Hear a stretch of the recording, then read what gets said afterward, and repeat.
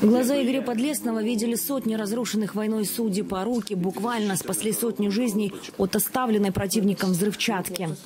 Когда мой наставник говорил так, если ты хочешь поймать злоумышленника, ты должен мыслить как злоумышленник. Точно так же и в нашей работе. Если ты хочешь обнаружить предмет, установленный твоим врагом, ты должен думать, как твой враг.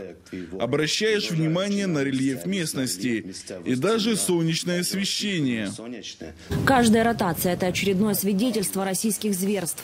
Последняя поездка оказалась на деоккупированной территории Харьковской области. Сведенный отряд саперов разминировал населенные пункты вдоль границы с Белгородской областью.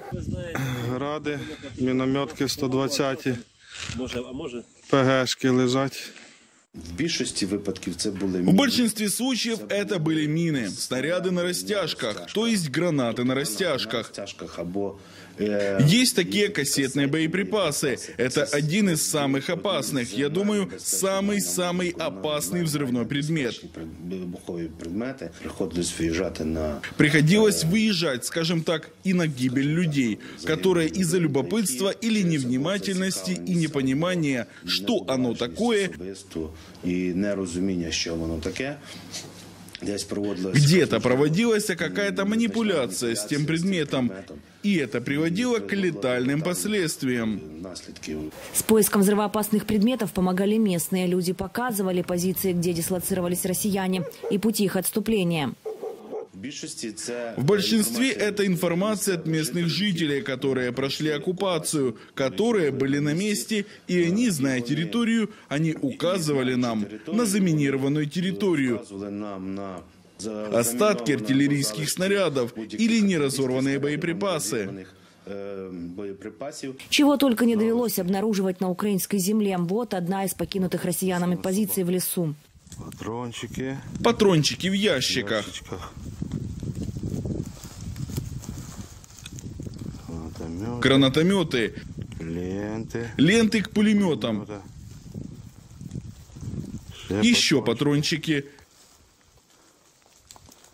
РПГшки. РПГшки, ПГшки, ВОГи, гранаты, Ленты до ленты от пулемета крупнокалиберного, пулемета. Воги 17, ВОГи 1725. 25. Да, тікали убегали швидко, быстро. Полишали труси, Оставили трусы, носки, тапки, ботинки, капці, берцы чоботи. свои. берці свої, все, що хочеш.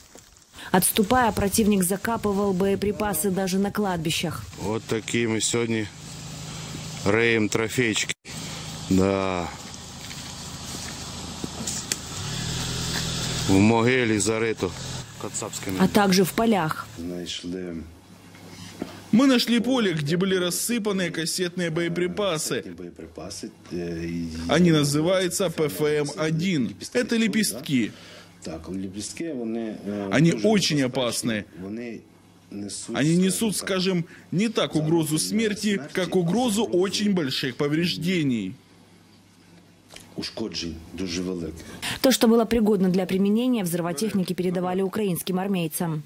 Ленд-лиз по-российски. Опа-на. Опа! Красота. Это подарочек для наших вооруженных сил. Некоторые боеприпасы саперы уничтожали на месте. Так. Растяжечка. Другие транспортировали и затем подрывали. Захватчики действовали подло, оставляя множество ловушек для украинских саперов.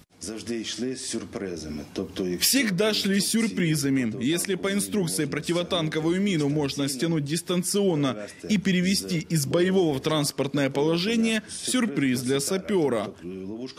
Они всегда ставили в тандеме противотанковую мину, ловушку. Мои коллеги проводили разминирование поля, где были противотанковые мины, и каждая третья была с ловушкой. Главное условие удачной работы сапера, говорит Игорь, знание.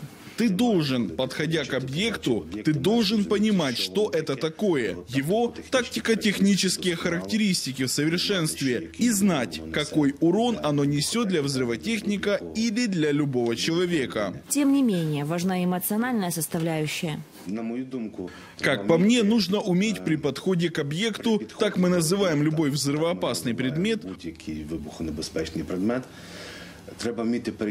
уметь переключиться, оставить все неприятности, даже приятные мысли оставить в стороне и контролировать себя. А еще быть уверенным в своих коллегах. Я должен быть на 300% уверен в действиях и знаниях своего напарника. И также он должен быть уверен на все 500, наверное, процентов в моих действиях. В Харьковской области, говорит Игорь, россияне применяли и старое советское железо, и современную взрывчатку. Есть ПОМ-3. Это вообще очень умная мина. Она срабатывает на шаг человека. на крок людини. Тобто вона переводиться, в- вона е, ви- вилітає з Она вылетает из ракеты-носителя на территорию любую, становится в боевое положение и ждет свою жертву. стає в бойове положення і чекає свою жертву. Сейчас Игорь в коротком отпуске, но уже готовится к очередной ротации. На рабочем месте взрывотехник хранит фотографии с побратимами и полученные за время службы награды. А рядом трофеи. Есть даже такие, которые обезврежены в Винницкой области. Некоторые, скажем так, остатки и элементы сбитой ракеты на территории Винницкой области. Это тобто электронная ее часть, внутренности. Игорь признается, страха нет, только уверенность в том, что его работа крайне необходима.